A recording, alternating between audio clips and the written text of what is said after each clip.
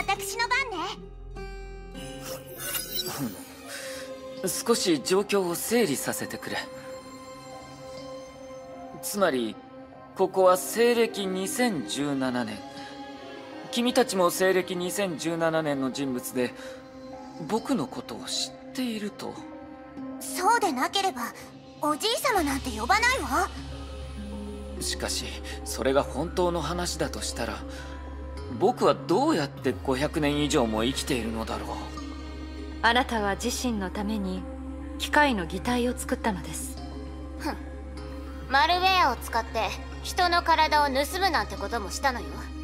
とにかく私はあんたを信用しない。あんたが15世紀の人間だということを証明しない限りね。あんたの存在は異常よ。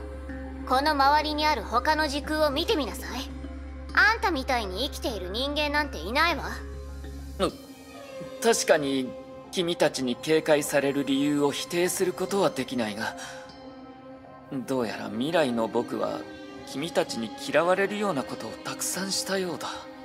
嫌いなんて可愛いものじゃないわ。あんたはね。まあいい。あんたが本当に15世紀から来たもう一人のあいつなら今ぶん殴っても意味がないものパラレルワールドの未来に干渉する余裕はないわ。パラレルワールド？うん一理ある。少なくともタイムパラドックスは生じないな。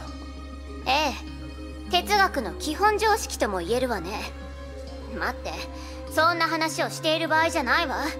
テレサデュランダルこいつをどうすればいいと思う？500年前に戻すとか？でも博士が言ったようにおじい様本人の可能性もあるわね。私には彼がとぼけているようには見えません。もちろんハイペリオンに連れ戻し調査することについても反対しませんがただ私個人としては今の最優先事項はこの異常空間の調査だと思います。ええ一理あるわね。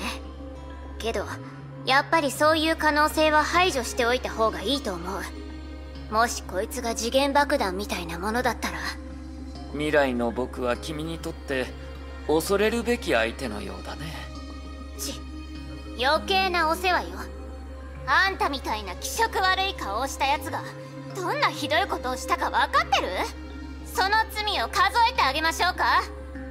テスラ博士落ち着いてください主教様はあなたたちに申し訳ないことをたくさんしてきました。それは承知しています。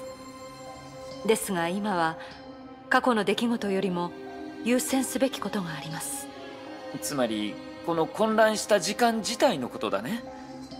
君たちにとって僕はよく知っていて全く知らない人で訳も分からずに急に現れたと。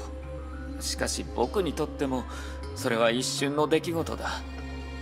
大きな戦いが終わって戦場が異様だと感じたら周りの人々が消えていたのだから。戦場？ああ。僕たちはついさっきここで天命本部の主力主教親衛隊を殲滅したんだ。待って。ちょっと待って。あんたオットー・アポカリプスがここで天命本部の主力を殲滅？あんたその時間から来たの？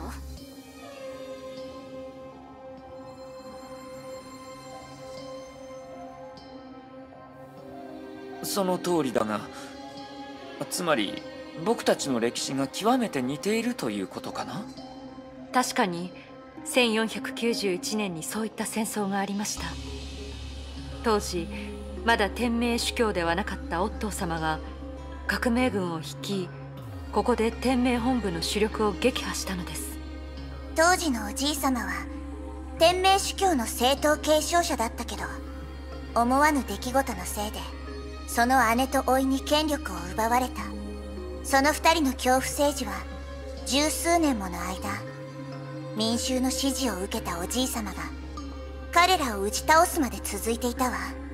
率直な感想だけどあいつのような人間がどうして民衆の支持を得られたのか想像できないわ。巧妙な騙しの手口でも使ったんじゃないの？確かに僕個人の実力というよりみんなは僕を信仰のシンボルにしたかったのだろうね。そう。みんなは僕がいたからではなく聖女の神話があったから一致団結したんだ。聖女の神話？天命の聖女。それってカレン・カスラナのこと？当然さ。カレン以外は言いやしないよ。僕の知っている世界には二人目の聖女は存在していない。カレン。彼女は僕のせいで死んでしまった。その罪に耐えきれなかった僕は何の意味もなさない現実逃避ばかりしていた。あの頃の僕には彼女がいない世界と向き合うことはできなかったししたくなかったんだ。僕はベネツィア人が墓地にしていた島に逃げそこで神父の名義を使い特殊な孤児を引き取る修道院を開いた。これでも一応貴族の端くれだからね。落ちぶれた暮らしの中でもきなようにすることができた。しかし天明の地下にいる民衆たちは自分たちの暮らしに失望したとしても耐えるしかなかったんだ。その暮らしから逃げられない人が多いせいか聖女は一つの信仰として民衆の中に広まっていったんだ。信仰ですか？ああ。カレンはこの世界で唯一の聖女でカレンの死があらゆる罪を持った人々の罪をあがなっていると彼らはそう信じている。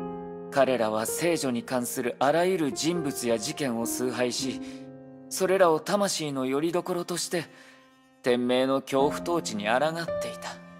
そしてあんたはそれをうまく利用したってわけ？彼らをあんたが主教の座につくための踏み台にしたっていうの？君なぜそういう考えが生まれるんだい？はあ？あんたの顔を見てどうせあんたならそうするって考えたからに決まってるでしょうが。あんたはその顔でムーンライトスローンの発明者と天命最強のバルキリーを死なせ人類のために戦った第一律者を殺した。そしてあんたは第一律者の後継者の邪魔をし第二律者を外に出し数千万人の命を奪ったのよ。落ち着いてテスラ博士。今あなたの目の前にいるこの人はあなたが責めている人と直接的なつながりはないのよ。ちそうね。あんたはあんた。あいつはあいつ。あいつは恥知らずな非道だけどあんたもそうなるとは限らないわね。悪かったわ。見た目で判断すべきじゃなかった。だけどあんたにも知ってほしい。私たちが知っているオットー・アポカリプスという男は様々な言葉で表現できるけど善人という言葉だけはありえないってことをね。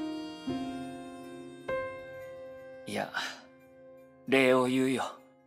は？